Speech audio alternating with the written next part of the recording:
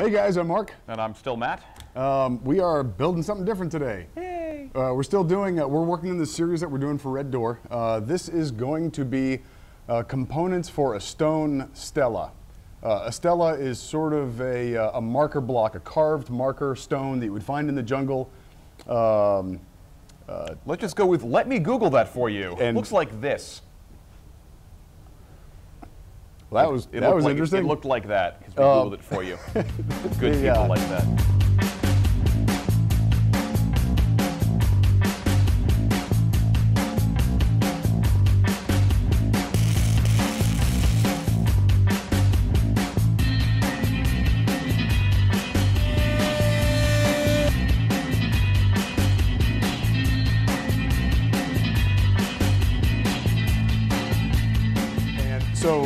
This uh, this piece is going to have uh, relief carvings of different animals on it, and so we're going to make uh, repeatable components. Matt is uh, well, I'm going to let Matt tell you what he's doing.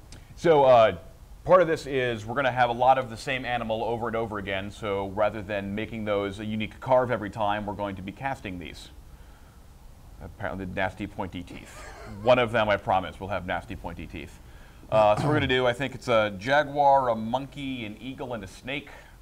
Sure, it's a pretty good representation of the animal kingdom. There's no platypus because that would look weird in a carving. It, it does. We tried it. Anyway, uh, so we're about to show you uh, me going through and uh, plagiarizing some uh, thousand some odd year old art to uh, get some of our vectors. And uh, we're going to take those over to the CNC machine to uh, carve them out. So um, take it away, my computer. So what I'm doing now is I'm taking this JPEG that I plagiarized off of the Intertubes and uh, importing that into Adobe Illustrator and using the pen tool to give it a rough trace around the, uh, the outside, which on this piece is a little tricky because this photograph is a very worn stone carving and it's sometimes difficult to tell uh, what's a shadow and what's actual relief. After getting the rough outline, um, I'm going to come in with the, uh, I'm not sure what the name of this tool is, the, the vertex alteration machine. Maybe there'll be some YouTube comments telling me what I'm actually doing because the internet knows better than I do. Anyway, uh, to round it out, uh, give it a more organic and, uh, and weathered look. And once we have the art here, I'm going to take this and uh, take it over to our, our other machine uh, towards uh, VCarve Pro is the software used to take our vectors and actually write them into G-code that the CNC machine reads to then start cutting. This is our vector after being imported and played with some in VCarve Pro. Uh, I've got it broken up into some areas here that are going to be pocket pads. This outside border is going to be the, uh, the piece that's going to be cut out. And then we have some more little bit of detail in here. Uh, I'm going to break this into three different cut paths. Number one is going to be a, uh, a path with a V-bit. That'll be a 60 degree V that's going to come in and give it a, a bit of a carved look as far as the geometry goes. And then after that, I'm going to come in with a pocket path and mill down these areas here so that they are a little lower, uh, although they're still part of the, uh, the, the single piece. And then lastly, using that same uh, end mill bit, I'm going to cut out the whole thing so he can be applied to the rest of the piece for uh, casting and uh, molding, not necessarily in that order. So this is the guy that we're going to start with. This is our 60 degree uh, V-bit. And I'm going to put that in and show you what it does.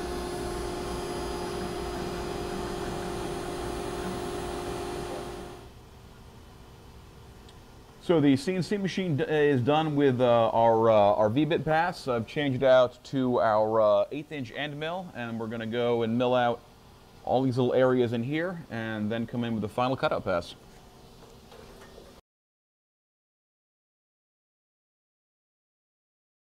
This is James the Jaguar in his master bit state. Uh, he has got a little bricks around here that I put some uh, aging on, just hitting it on the edge of the uh, disc sander. A little stone texture there. And uh, he's ready to go to a box mold. I guess we're going to do that now. Even though in the last video or in, in a previous video, ooh, magic, um, I said, well, you've seen a box mold made before. We're going to go ahead and show you how we make a box mold with this guy. Because we're special. Yay. I lied already. Uh, we said we were going to make a box mold out of this guy. We decided that uh, uh, better off, we are going to make a box mold, but it's going to be a, it's going to end up being a two-part mold. So we will cast the front of this guy and then cast uh, a separate a separate backer piece for this, so we can so this will be one solid piece of resin. The reason we're going to do that is that um, is that what we want to do is pour uh, liquid urethane in this guy first and do a slush cast, and then pour in some expanding foam and backfill it uh, to make it strong and stuff. So Matt is going to uh, work on the box sides um, and make a, a, box on the table saw. And at the same time, I will be uh, using this uh, dissolved wax sealer uh, on our MDF so that it's not quite so porous and so that it releases easy from the silicone. Uh, so we're going to show you both those things at the same time.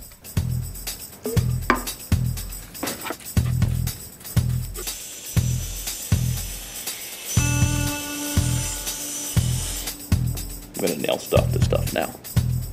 Uh, I'm off alignment. I'm off alignment.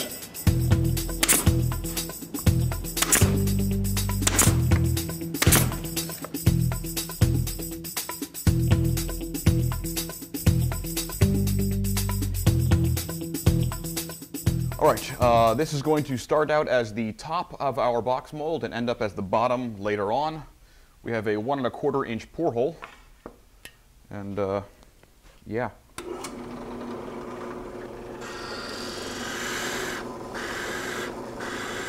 One and a quarter inch Forstner bit leaves a nice uh, clean walled flat bottom hole. Um, these that I didn't use because I was lazy and decided to turn on my mouth instead.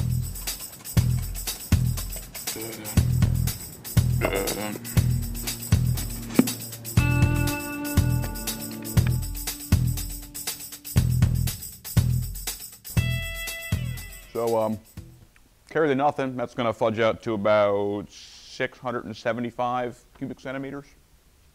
All right, this is Moldstar 15 Slow, uh, platinum uh, cure silicone we're using. The platinum is the catalyst. It's part of what makes it expensive. You've got uh, tin cure silicone and platinum cure. And this stuff is actually uses platinum as a catalyst. Uh, and it's a, it's a really nice uh, uh, detail capture silicone. what we're gonna do is, I'm going to pour into this mold with the face open up to a point just to make sure I've got all this detail captured. And then once I do, we'll put this plate in place, clamp him in, and I'll finish the pour through that hole. Uh, we're going to use uh, 350 mils per of part A and part B. It's a one-to-one -one mix, so that makes it easy. And uh, we're going to do that now.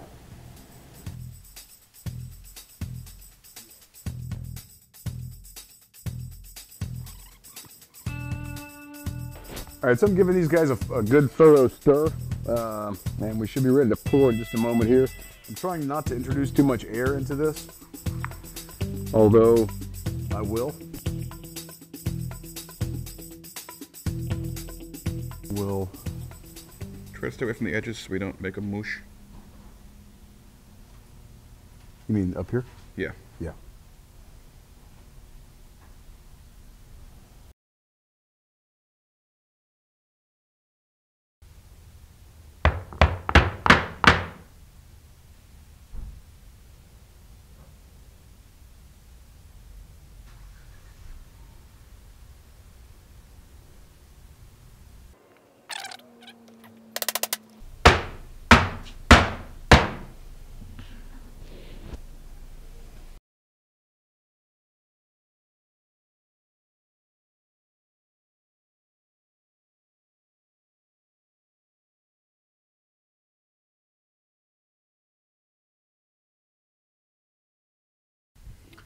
Don't make it weird. Just watch it for four hours. You have to watch for all four hours, or it's like a, it's like a pot that you've cleaned. That, Is it is it done yet? is it a watched pot or a washed pot? Let's do one of those uh, those spiral wipey things like the passage of time happens, where you just like that. We'll do that. Uh, so, can we take the sides off? We don't really yeah. want to. Yeah, we can take the sides off. Um, Yeah, I could just take this whole thing apart. Yeah, that's great. But I, I made it with no glue, just but- else. Then we just rebuild it. well, hell, if that's the case, it is nailed down to this board. Uh, yes, the original is nailed down to that.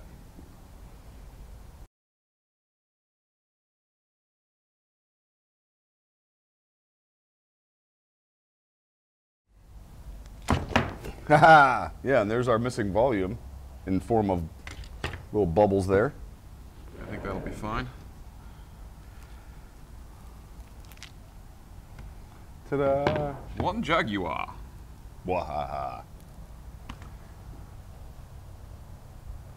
S- Something is mold inhib or uh, cure inhibiting, and I think it is. Um, The MDF? It's it's something in the MDF. There's got to be some sulfur in there or something. I did seal the the the hell out of it, and this is going to be That- good that's enough. I not the phrase just- you were going to use. You were No, going to say it's not. something I was I just self-edited um, or You bore me. self-censored, um, and that can be washed out and we're okay. I believe this quarter inch is not the Plum Creek. This is the cheap stuff, and that may be what's doing it because you don't see it anywhere else. Granted, there's not as much open open uh, pocket milled stuff. He is referring to uh, to the, the brand of uh, and quality, frankly, of MDF we're using. Uh, there are several available, and uh, Adam Savage introduced us to Medex through Tested.com. Um, Trupan. Trupan, sorry, and then we found Medex as a result of that. So fantastic. Um, Just Google it if you care. Hey, quick note here. Uh, we had this guy mounted on a, a backer board uh, to give us this this flange. Um, so uh, now that we've got this guy pulled out, what we're going to do is separate this from the backer piece and then pour our the other half of our mold. So this isn't a pure box mold. It's going to be a, a really rough two-part mold. This guy doesn't have to be pretty, or well, this is going to be pretty, but uh, we don't need a super mold for this. We'll probably only get to pull 15 or 20 copies and they're trimmable and it's going to get a finish on top of it and stuff like that that uh, so we're not trying to pull the most beautiful perfect copy so this is just down and dirty i'm going to cut some registration keys into this uh, to help the two mold halves register together so that they're hitting in the same place every time uh, so i'm just going to cut some wedges out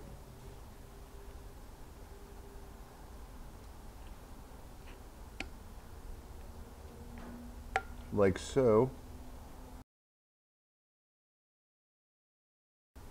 And I'm going to cut these in both directions so that I have an inside key and an outside key.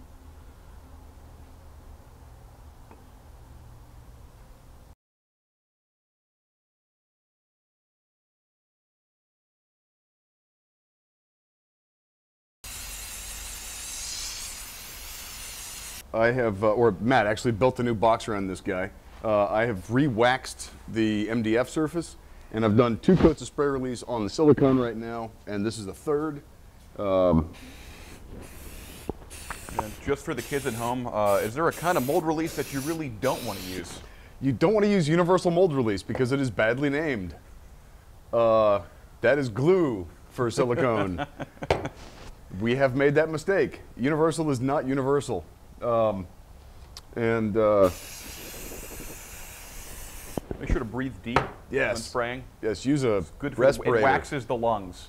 Um, The uh, we're gonna pour our second half right here. You can see my little registration marks that I've cut in there, and um, and so we're gonna mix up some more silicone. And yay, you've seen that already, but we're gonna do it again.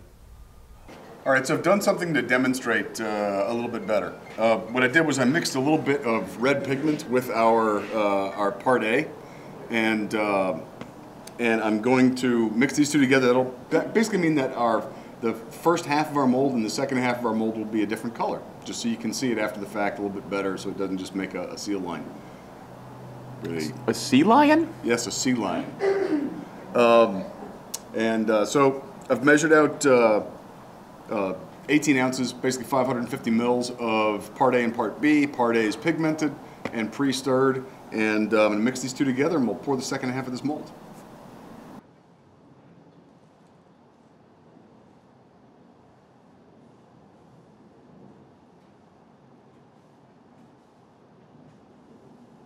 So I've poured our uh, our second half of the mold, and it came out purple, which I didn't really expect, but who cares?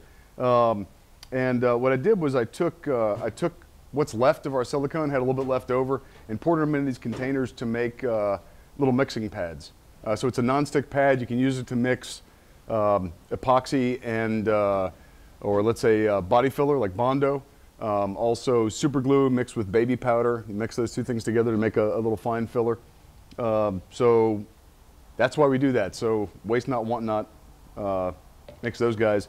This thing is going to take about four hours for full cure. So uh, here's the here's the next little time wipe thing. All right, so I can tell from uh, from my uh, the bottom of my bucket silicone right here. Uh, by the way, whenever we mix epoxy, bondo, anything, instead of touching the piece that you actually you're working on, just save the stuff. Don't throw it away, and that way you can not touch it to find out that it's hard. Um, so what I'll do is just break this all the way around. Just start breaking the seal.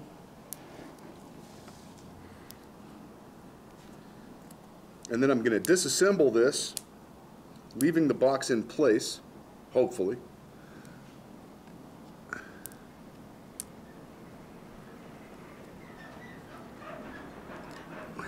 There we go.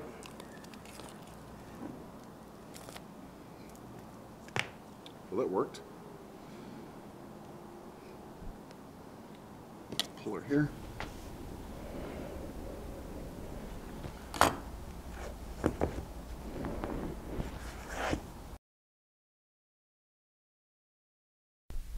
I've been pulling our original out.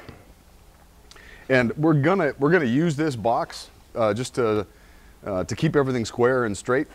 But for right now, I can at least show you how that guy goes together.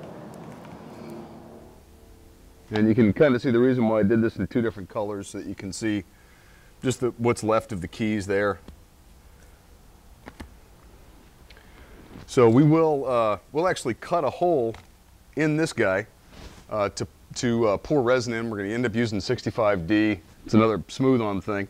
Uh, but we'll, uh, we'll pour into here and just slush cast. Uh, we may actually do some of them solid resin, but slush cast it so we have a nice hard candy shell and then put our high density foam inside of that and then just let it blow out through the back with the whole thing clamped shut so that we don't have a hydraulic separation of the mold uh, from the, the pressure of the foam itself. I've had an incredibly stupid idea. I, I want to see if we can cut the back plate of this, uh, the, the, the part two that we did of the silicone mold with a Forstner bit.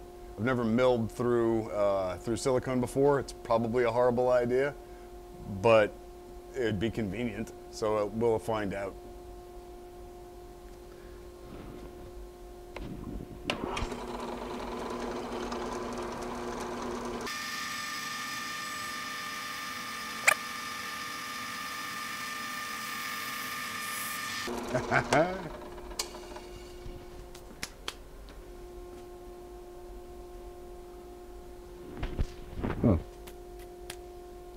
That actually worked.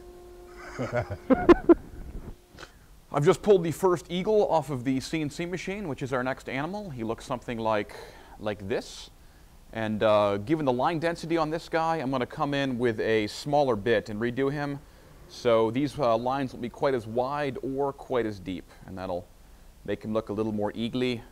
The, a lot of the detail on the, there we go, detail on the, the talons was kind of lost. So we're going to try this again. Okay, so I'm, what I'm using is uh, 65D uh, to do a little slush cast on the inside of this thing, hard candy shell, think of it that way, and then we'll pour foam on the inside of that as just to, to beef out the volume. Um, I have pre-measured parts A and part B uh, just to save time on camera. I'm going to add uh, just a couple of drops of pigment to my part B.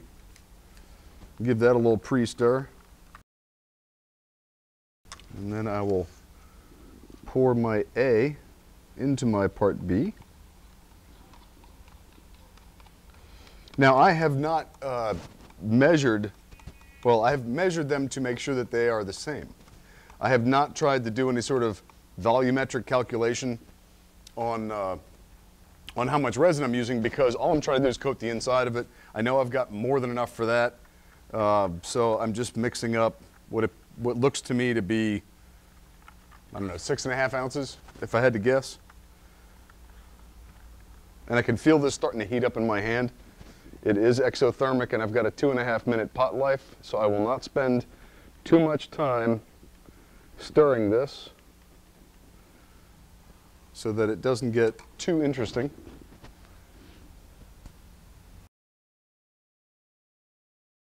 This is just an experiment, so I can tell very quickly. Can you give me a paper towel? Um, I can tell very quickly that I have used more than enough. There's definitely more than I need right here. Thank you.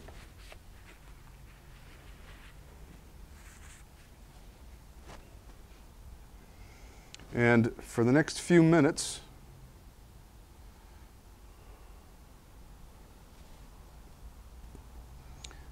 which we will compress, uh, I'm going to slosh this around and coat the inside of my mold.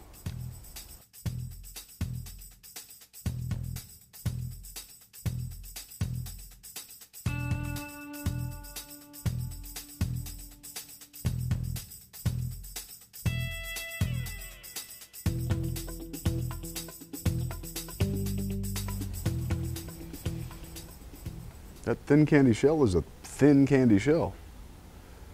I can still see the mold color under it. So it's thin enough that I can see through it. All right, um, we've figured out our remaining volume inside the mold after we poured our, our slush cast. Uh, I've mixed up, uh, or I've, I've measured out parts A and B of the, the 10 pound foam again. Um, I'll mix these together. We'll pour it in here and that should fill up the inside of the, uh, the void um, inside our hard candy shell. Uh, I've mixed, uh, I've mixed uh, a couple of drops of pigment into this guy, uh, so it'll turn out our, our JD green, our dark JD green color again for the foam. But since I've pigmented both, it's just trying to make the whole sandwich dark.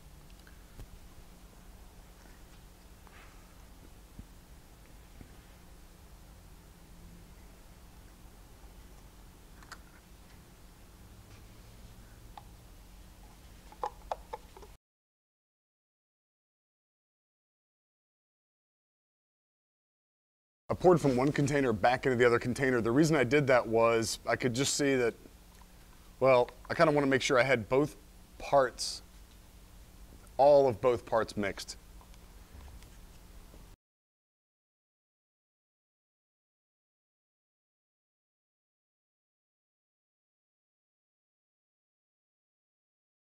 It wasn't even taking the full volume of mixed without expansion.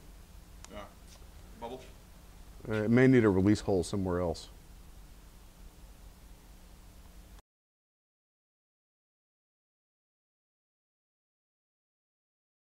So we've got this guy uh, in our uh, uh, poured.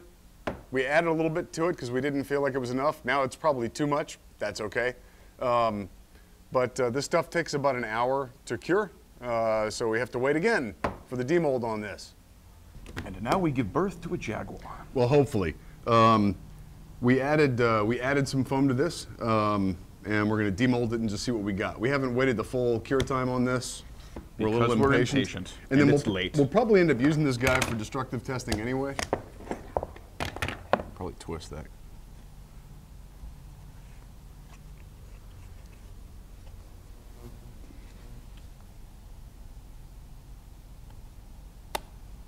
There we go. All right, we'll have to figure out some kind of way to. Saw that without hurting the. Uh, Yeah. does seem a little. pushed Well, and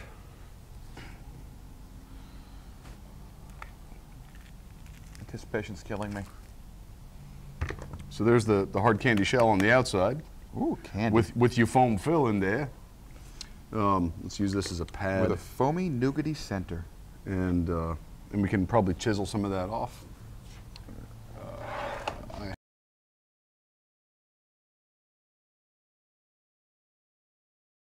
probably not the best thing we can do to our mold, but seems to be working. Yeah, I just don't want to split the mold. Yeah. Aha! I'm happy with that. Yeah. It's a little light. I think it needs to feel more stony. Not bad. Not bad for a couple of hacks. I was going to say amateurs, but we're getting paid. So, ah! All right, more to come. Stay there. So, Matt, what does failure look like? Um, it looks something like this if we stop. Uh, so we are going to take the next couple minutes to completely destroy the self-esteem of poor James the Jaguar because he failed us so very, very badly. Take it away. Uh, okay, problem number one is uh, we actually poured in through the back of the of the uh, the mold. Uh, we did our hard candy shell, and then which actually we got a, a decent candy shell out of it, and then we poured 10 pound foam into the the cavity that was remaining. Um, the foam, because we had no relief holes on the back of it to vent air, it caught some air and didn't travel. So this side of the mold is nice and firm. This side of the mold feels like Preston's mom. Wow. Yeah, a little offsides. that's the guy behind the camera. You got to give the guy a complex. uh, problem two, as I flip this around, uh, it feels nothing like stone. It is, it is too light. Um, it feels like a, a piece of plastic, which, which it is. Um, so that's, it needs to be more massive, so people might pretend that it's stone when they handle it.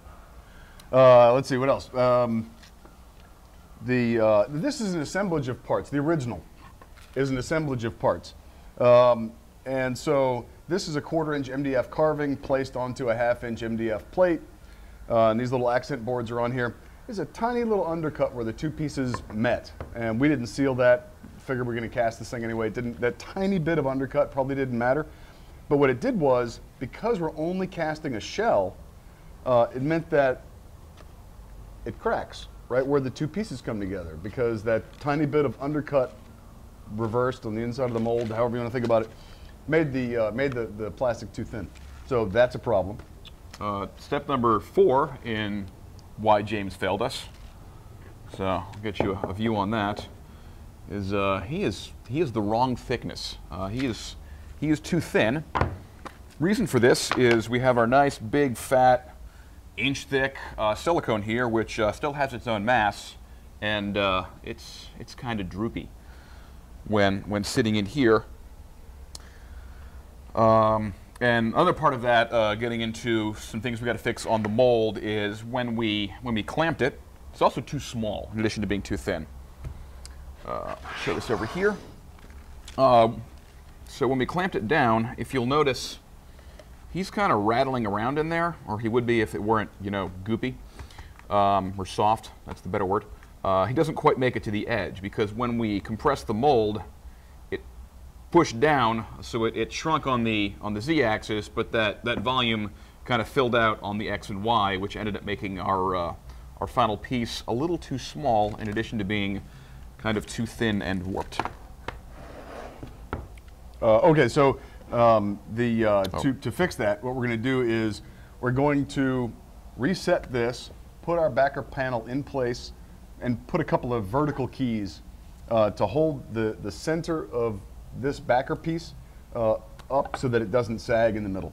Um, we'll do that, and also we built this box as a crush limiter so that you're not just you're not just taking clamps and pranging down on the thing and making the, the walls scoosh out. Prang is still not a word. It is. It is a word. Prong is a word. It's No, no, prang's a word. I don't think anyway, prang, is. the um, the uh, in order to keep the walls from squooshing out and getting fat and thus making the, the piece too thin or too too small dimensionally, uh, we have a crush limiter. Uh, so we built up this wall and it can only travel about a 32nd of an inch. So that should take care of that. So solutions are We get another problem. ah uh, Um, you probably, hopefully, couldn't tell from the time lapse you just witnessed, but uh, that took a really, really long time, and we have to make a lot of these. So, the amount of money we might have saved by doing a two-part with the candy shell and then the foam fill, because the foam is less expensive per volume than the just the pure resin. Um, we way burnt through that money in just sheer time. it just takes too damn long. Um, so uh, we fix the roof of this guy, give it a vertical key. Uh, we have our crush limiter so we don't crush the walls down and screw things up. So and and then Fix, fix one is corrections to the, the mold itself. And fix two is we're just going to do the whole thing in, in resin. Uh, what would be 300, 300Q? Uh, one of them. One of them. We'll be a 300 with maybe a letter on the end. We'll, we'll see what we have in the leftover bin I think it's. I think it it's actually. I think we're going to use 320. Uh, it's got a shorter pot life, but it's not so crazy fast as 300Q, and it's a little bit less expensive. Uh, but we will make that determination based on what we have, and then we'll let you know momentarily. A quick word on sunk cost fallacy. So, uh, this is uh, Eagle version 1, and as I said, I redid the vectors a little bit for Eagle version 2 here, which, uh, as you can see, it's got a, uh, a narrower bit that's not going quite as deeply, so the, the detail is not quite as overwhelming and uh, just random chatter. Uh, but still, it's not really in the same style as the Jaguar, uh, as, as James here. So, because I like this one, I, I like the art on this guy, so we're trying to base everything off of him. I'm, uh, I'm just going to ditch the Eagle here. Uh, he's still a little too North American slash maybe Aztec in style and not enough Maya. So I found a new vector, and I've been playing with that. So sunk cost. Uh, it's not really that good, so I'm going to stop putting time into it. That's. Sorry, Eagle. We have here our completed menagerie of critters. We have named them all and promptly forgotten their names. There's a Philip in there somewhere. It could be the monkey. So next step is, uh, as with the Jaguar, we are going to make box molds for uh, his, I guess, weird adopted siblings. Well, that one's adopted. That was adopted. Anyway, uh, yes, we're going to go do that. A few tweaks from version 1 where we found some things that could have worked better than just as we did on the Jaguar. We're making our mold walls thicker, so we're not idiots. Well, we'll still be idiots, but we're making our mold walls thicker. That, that's not really going to help that in any really meaningful sense. This time around, we're going to go about making our box molds in a slightly more well thought out and organized manner than the slapassery of the Jaguar mold. Step one is the base. This is kind of drawn to overscale. Uh, and then onto the base, and this will be, by the way, one half inch MDF. We will temporarily nail onto that. This is our, our masterpiece. Well, yes, this is our masterpiece. Beautiful. Um, and we will have the edge of the box mold will be tacked down onto here. This is more, one half inch MDF. Uh, our space in here is going to be one inch. We did a half inch on the last time, and that was a little thin. Uh, it let the, the squish factor kind of uh, factor into, let the factor factor? Too much squish factor. Uh, we have our pour line will be one half inch above the top of the masterpiece. Yeah, there I said it again. And we'll just have a line drawn on the edge of that. That'll give us our, our pour indication. We're not going to try to put a top on it this time. That proved to be kind of useless on the Jaguar, so we're just going to skip that step and let, let gravity give us a nice even uh, surface on that. And for keys, around the edge here, I'm going to come in with a Forstner bit, uh, quarter inch, three eighths thereabouts, and drill some holes around the edge there that when we lay the, flip this whole thing upside down and lay the top in, those holes will then become the keys for the, uh, the top part, which was the purple on the Jaguar mold.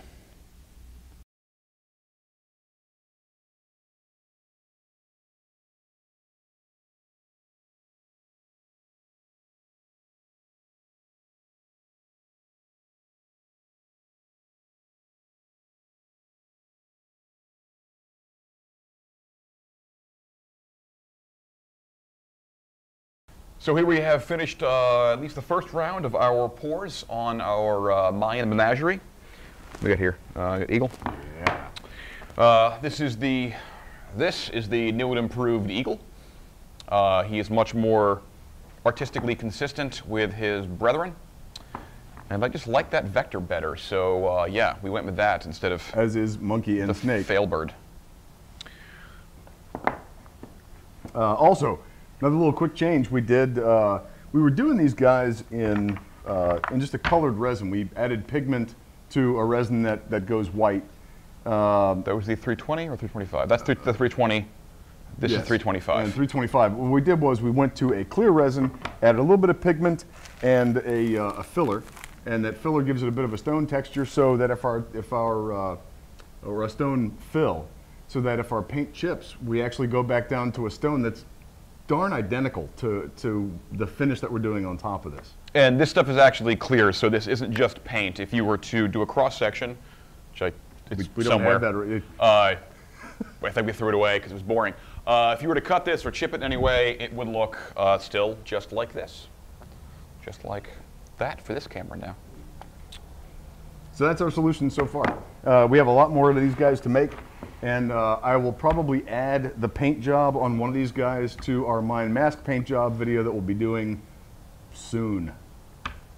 So please like and subscribe to uh, be informed of when these keep coming. And if you have any questions about what we're doing or why we're doing it or what the hell is wrong with us, uh, put those in the comments section somewhere down there.